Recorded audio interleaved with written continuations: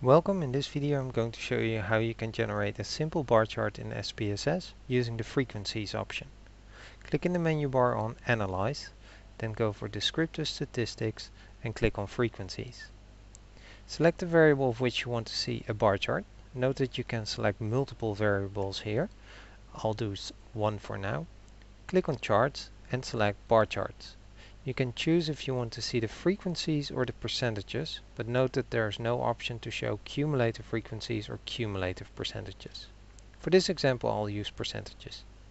Click on continue. I do not need to see the frequency table. If you do want to see it you can leave this one ticked. I'll uncheck it and click on OK. I now get the bar chart in my uh, output. If you double click on the bar chart, you actually get to the chart editor where you can make a few changes if you want. For example, if you double click on the bars, all of them are selected and under fill and border, you can go for fill and select for example red, click on apply and now all the bars are red. If you click once again on one of the bars, now only that one bar is actually selected and if you click on another color now and hit apply, only that bar, its color will change. You can also, for example, create a 3D effect by going to depth and angle, click on 3D, perhaps change the distance a little bit and hit apply. I wouldn't recommend using 3D effects though.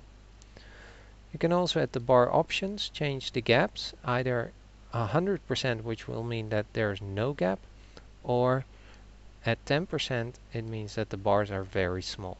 I usually leave it at the way it was, which was roughly around here probably and if you close the chart editor it will actually keep the changes in your output so you can save the output and the changes will also then be saved.